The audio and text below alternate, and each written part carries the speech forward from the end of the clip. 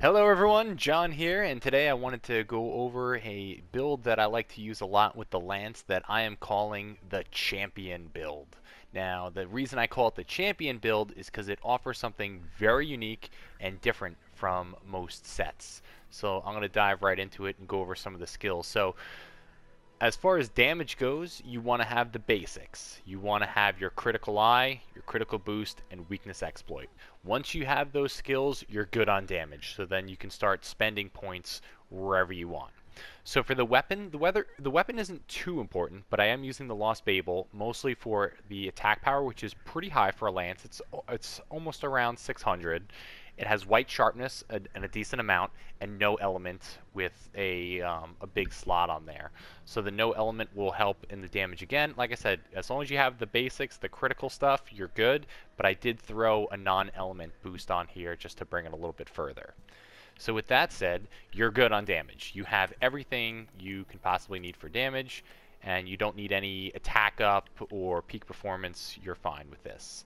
After that, you can start adding other skills. So what I like to add, I did add the offensive guard. Now, offensive guard is a great skill um, because you're blocking all the time with the lance. You're blocking, you're countering, and you're constantly getting these boosts of attack power. So that one's really good.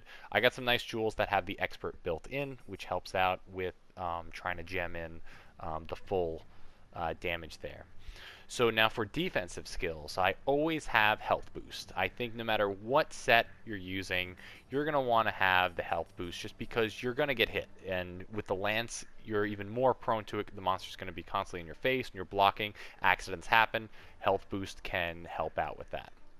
Now, the most important thing on this set is the Showman Earrings. Now, the Showman Earrings is really interesting because it gives a skill that I don't believe you can get anywhere else. It is called Provoker and it makes the monster come after you more. So this is great because if you're in a multiplayer situation and the monster's constantly on you, that's great because it gives the team more opportunities to do more damage to the monster. Not only that, but it gives you more opportunities to do counters and counter claws. So this is an awesome skill for the lance and you need to be brave to put it on because the monster's coming after you. You just got to accept it, and you're going to deal with the monster. And as a lance user, you can you can deal with the monster because that's what it excels at so so much.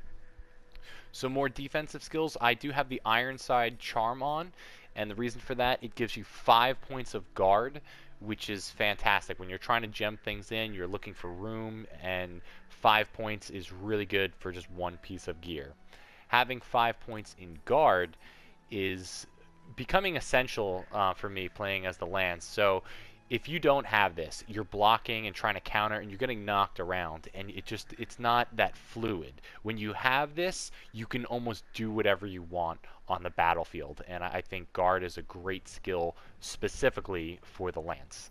If you tie that with guard up, now you can block everything the monster can do. So not only can you block everything, but you can do it well, you're not going to get knocked around.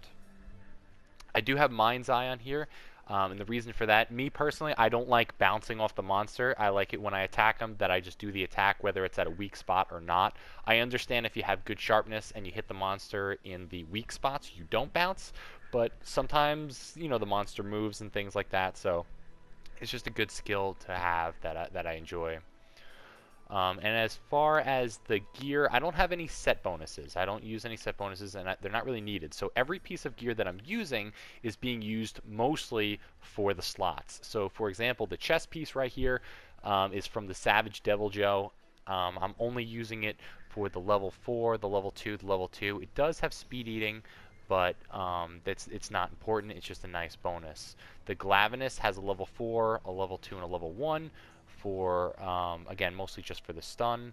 And um, Valda, uh, it's easier to have something with some of the skills that you need for your gear. So this one has two points of health boost and good slots.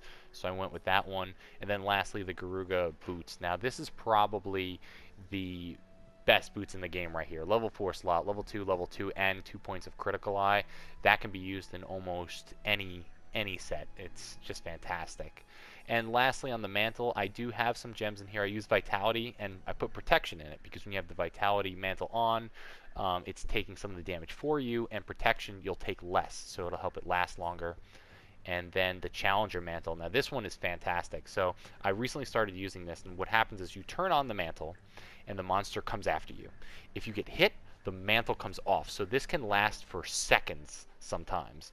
But with the lance, if you turn on the mantle and block the attacks or do counters, the mantle stays on.